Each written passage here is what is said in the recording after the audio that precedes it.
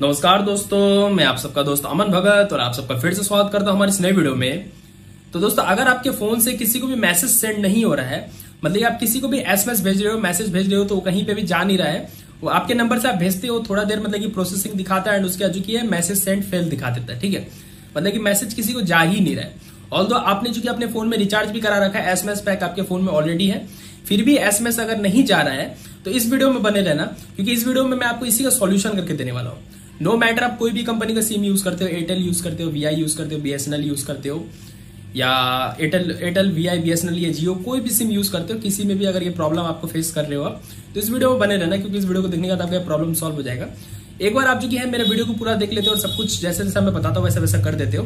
तो उसके बाद ही मैं ये गारंटी दे सकता हूँ कि हंड्रेड एंड टेन परसेंट आप, जो आपका मैसेज का प्रॉब्लम है, वो सॉल्व हो जाएगा।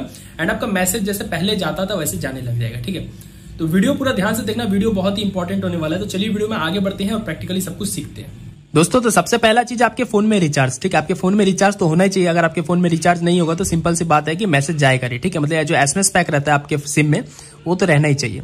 पर आपके सिम में जो कि है एसएमएस पैक ऑलरेडी है रिचार्ज है, फिर भी अगर एसएमएस नहीं जा रहा है, ठीक है? तो फिर इस वीडियो में बने रहना, क्योंकि इस वीडियो में मैं आपका इसका hundred and ten percent solution करके देने वाला हूँ। तो सबसे पहला चीज़ आपको क्या करना है?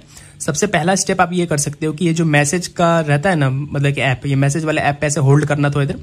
होल्ड करने से कुछ ऐसा ऑप्शन आएगा। यहाँ पे देखना ऐप इन्फो लिखा होगा। या कितने फ़ोन में ऐप इन्फो भी नहीं लिखा रहता, खाली आई ऐसा लिखा हुआ बना रहता है, ठीक है? तो आई लिखा या ऐप इन्फो और ऊपर आई लिखा हुआ है सिंपली आपको इस पर क्लिक करना है। आप इस पर क्लिक करोगे तो आपके सामने कुछ ऐसा इंटरफेस खुल जाएगा अब यहाँ पे आपको स्टोरेज यूजेस देखने को मिलेगा, ठीक है? इस पर सिंपली आपको क्लिक करना है। इधर में जो कि है, आपको देखने को दो चीज़ मिलता है क्लियर डेटा क्लियर कैशे ठीक है? तो आपको सिंपली क्लियर कैशे पे क्लिक कर देना है, ठीक है?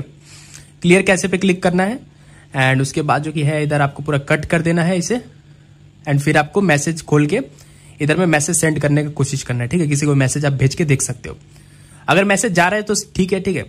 अगर फिर भी मैसेज अगर नहीं जा रहा है तो नेक्स्ट चीज़ आप क्या कर सकते हो कि आप जो कि है, एक बार कुछ मैसेजेस को इधर से डिलीट कर दो। अगर आपके फ़ोन में बहुत ज़्यादा एसएमएस आ रखा है तो इधर से जो कि है, कुछ आप कह सकते हो 20 25 30 मैसेज को आप डिलीट कर दो। कितने बार ऐसा रहता है कि फ़ोन पूरा फुल होने की वजह से एसएमएस का जो ये ऐप रहता है, इसका स्टोरेज पूरा फुल होने की वजह से भी ऐसा कभी कभी प्रॉब्लम हो जाता है, ठीक है? इनकेस कभी कभी हो जाता है। तो अगर ऐसा भी कुछ प्रॉब्लम होगा तो ठीक हो जाएगा, अगर आप डिलीट कर दोगे कुछ मैसेज तो अगर ये सब के बाद भी आपका प्रॉब्लम अगर सॉल्व नहीं होता है तो उसके बाद आपको क्या करना है? उसके बाद आपको एसएमएस का ऐप जो रहता है, ये मैसेज वाला ऐप ठीक है? इसको ओपन करने के बाद आपको ऊपर में देखने को मिलता है डॉट ठीक है? टू डॉट थ्री डॉट रहेगा या लाइंस वगैरह रहेगा। इस साइड भी रह सकता है, कितने फ़ोन में इस साइड भी रहता है, कितने फ़ोन में नीचे भी रहता है। आपको देख लेना आपका कहाँ पे दिखा रहा है। उस पर सिंपली आपको क्लिक करना है एंड उसके अंदर में आपको एक बटन देखने को मिलेगा सेटिंग्स ठीक है? आपको सिंपली सेटिंग्स पे क्लिक करना है। सेटिंग्स के अंदर में आपको देखने को मिलेगा एडवांस सेटिंग्स ठीक है? तो एडवांस सेटिंग्स पे आपको क्लिक करना है। एंड उसके अंदर में आपको एडवांस सेटिंग के अंदर में आपको देखने को मिलेगा मैसेज सेंटर या एसएमएस सेंटर भी लिखा रह सकता है, ठीक है? अलग अलग फ़ोन में अलग अलग स्टाइल से लिखा रहता है तो इधर जैसे मेरा मैसेज सेंटर लिखा, आपको हो सकता है एसएमएस सेंटर भी लिखा सकता है, या लिखा होगा शॉर्ट मैसेजिंग सर्विस सेंटर ठीक है? तो कुछ भी लिखा होगा तो आपको सिंपली इस पर क्लिक करना है। तो इस पर क्लिक कर दिया तो कुछ ऐसा खुल के आ जाएगा। अब यहाँ पे आपके फ़ोन में एक सिम होगा तो एक सिम शो करेगा, और आपके फ़ोन में दो सिम होगा तो इधर दो सिम शो करेगा, ठीक है? तो जैसे कि मेरे इधर फ़ोन में दो सिम लगा हुआ है, एक जियो का, एक वीआई का, ठीक है? तो दोनों सिम यहाँ पे मेरे को शो कर रहा है। सिम वन में जियो का है, सिम टू में वीआई का है, दोनों ही शो कर रहा है। अब इधर जो कि आपको क्या करना है, जो सिम में आपका प्रॉब्लम आ रहा है, उसको ओपन कर देना है। जैसे कि मान लो मेरा सिम वन में प्रॉब्लम आ रहा है जियो के सिम में तो मैं इस पर क्लिक करूँगा एंड इसको ओपन कर दूँगा। ओपन करने के बाद जैसे कि आप देख सकते हैं, इधर में आपको एक नंबर लिखा हुआ शो करेगा, ठीक है? जैसे कि आप देख सकते हैं, मेरे यहाँ पे एक नंबर लिखा हुआ है, ठीक है? ऐसे आपका भी हो सकता है, इधर कुछ नंबर लिखा हो, या हो सकता है कि कुछ नंबर ना भी लिखा हो, ठीक है? अगर कुछ नंबर नहीं लिखा है तो इधर में आपको नंबर एक लिखना पड़ेगा। ये एक्चुअल में मोबाइल नंबर नहीं है, ये एसएमएस का एक यूनिक नंबर रहता है जो कि कंपनी प्रोवाइड करती है अपनी तरफ़ से। अगर ये नंबर यहाँ पे एंटर नहीं रहता है तो आपका जो मैसेज का सर्विस है वर्क ही नहीं करेगा। आपके फ़ोन से किसी को भी मैसेज जाएगा ही नहीं ऑल आपके फ़ोन में एसएमएस पैक हो, फिर भी नहीं जाएगा, ठीक है? तो ये जगह पे आपको नंबर एंटर करना पड़ता है। पर ये नंबर तभी आपको ये सेम नंबर एंटर करना पड़ेगा, पर सबको नहीं। अगर आपका जियो का सिम है तो आप ये सेम नंबर को अपने इधर बॉक्स में एंटर करोगे। अगर दूसरा कुछ नंबर लिखा हुआ है नंबर नहीं लिखा हुआ है तो सिंपली आपको ये वाला नंबर एंटर करना। अगर कुछ नहीं लिखा है तो ये वाला नंबर डाल देना। अगर दूसरा कोई नंबर लिखा है तो उसको हटा के ये वाला नंबर डाल देना। अगर आप जियो सिम यूज़ करते हो तो ठीक है, अगर दूसरा कोई सिम यूज़ करते हो तो सेम नंबर नहीं आएगा, उसके लिए दूसरा नंबर होगा।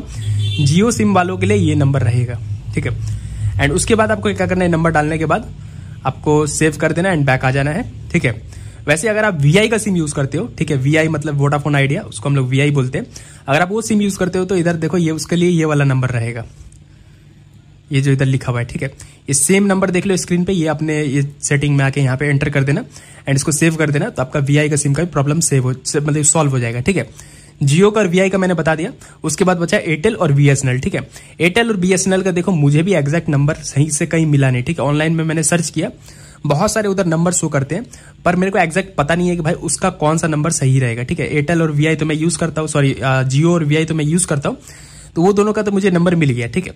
पर एयरटेल और बीएसएनएल का एग्जैक्ट क्या सही नंबर है शॉर्ट मैसेजिंग सर्विस के लिए?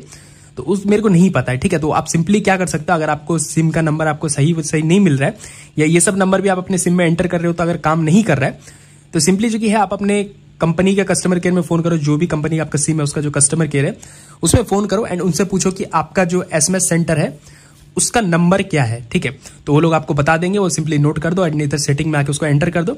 एक बार आप एंटर करके इसको सेव कर देते हो तो उसके बाद आपका ये जो प्रॉब्लम है, वो hundred and ten percent solve हो जाएगा। उसके बाद आप कभी भी जो कि है एसएमएस भेजने में आपको कोई प्रॉब्लम नहीं होगा। आपका नॉर्मली आप जैसे ही एसएमएस भेजोगे इजिली किसी को भी रिसीव हो जाएगा एसएमएस ठीक है? इधर जैसे प्लस पे क्लिक करके आप एसएमएस भेजोगे, अपने जो भी कॉन्टैक्ट को तो इजीली चल जाएगा, ठीक है? तो आपको सिंपली यही करना है कि वो जो नंबर रहता है एसएमएस सेंटर में, वो सही से सेव करना है। गलत नंबर अगर उधर सेव होगा तो एसएमएस नहीं जाएगा, ठीक है? या कुछ नंबर भी उधर नहीं लिखा रहेगा तो एसएमएस वर्क नहीं करेगा। और अगर ये सब करने के बाद भी आपका प्रॉब्लम सॉल्व नहीं हो रहा, आप देख रहे हो कि सही नंबर ही उधर एंटर है आपका सिम के हिसाब से, फिर भी अगर मतलब कि एसएमएस नहीं जा रहा है तो फिर आपको सिंपली क्या करना है? फिर भी आपको कंपनी को अपने कॉल करना है, जो भी कंपनी का आपका सिम कार्ड है वो कंपनी में एंड उनको बोलना है कि मेरा मैसेज क्यों नहीं जा रहा है? तो कितने बार ऐसा रहता है कि कंपनी जो की है कितने सारे सिम में एसएमएस का सर्विस को बंद करके रखती है। मतलब कि एसएमएस आएगा ज़रूर, ठीक है? मैसेज आएगा, पर मैसेज जाएगा नहीं। मैसेज जाने का जो सर्विस है, वो बंद रहता है कितने सारे सिम में। तो आपको सिंपली कंपनी में फ़ोन करके उसे चालू करवाना पड़ेगा। एक्टिवेट एक बार आप करवा देते हो तो आपका जो है मैसेज का प्रॉब्लम है सॉल्व हो जाएगा एंड मैसेज जाने लग जाएगा। तो यही सब कुछ स्टेप्स आप वो सब स्टेप्स को जो है इजीली करके आपका जो ये एसएमएस का प्रॉब्लम है मतलब मैसेज नहीं जाने का प्रॉब्लम है सॉल्व कर सकते हो। ये सब बहुत ही आसान आसान स्टेप्स आप करना है एंड आपका जो प्रॉब्लम है हंड्रेड एंड टेन सॉल्व हो जाएगा, ठीक है? तो आई होप आपको वीडियो पसंद आया। अगर वीडियो पसंद आया तो इस वीडियो में एक लाइक ज़रूर कर देना।